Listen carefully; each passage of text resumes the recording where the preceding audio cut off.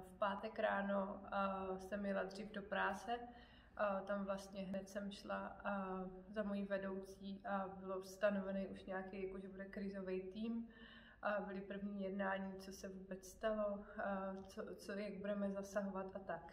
Lidi se ptali, kam můžou poslat peníze nebo jak můžou pomoci. Takže my jsme to potřebovali trošku začít víc dělat systematicky, takže jsme hned s PR oddělením začali, uh, udělali registrační formulář, aby se ty lidi mohli někam přihlašovat a aby jsme potom s tím mohli dál jako pracovat. Za první víkend se nám přihlásilo přes registrační formulář přes 200 lidí, kteří chtěli jako pomoci.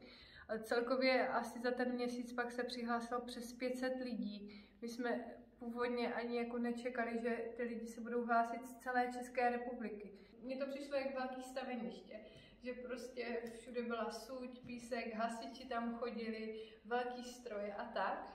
A potom odpoledne jsem posílala právě dobrovolníkům, kam se mají dostavit. A tam jsem na Google Maps uviděla, jak to vypadalo jako předtím, než přišlo tornádo. A zase to bylo úplně vedle.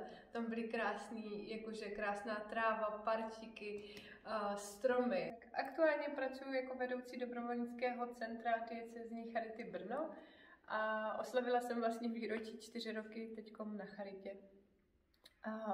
Dobrovolníky pohovorujeme, aby jsme je mohli posílat do našich sociálních a zdravotních služeb ale taky vysíláme dobrovolníky na sbírky, právě i na mimořádné události, ale hlavně je to práce s lidmi a k tomu potřebná administrativa. Hlásí se k nám lidi jako dobrovolníci e, různého věku. Nejčastější a nejznámější skupina jsou studenti, třeba i středoškoláci, i vysokoškoláci, že chtějí dělat něco navíc, že mají volný čas a chtějí někomu pomoct. Další skupinou jsou lidi, já tomu říkám 40+, plus, ty lidi, co už mají třeba trošku odrostlejší uh, děti a něco jim v tom životě chybí. Já pracuji s velmi motivovanými lidmi, což dobrovolníci jsou, protože chtějí pomáhat a tahle práce mě opravdu naplňuje.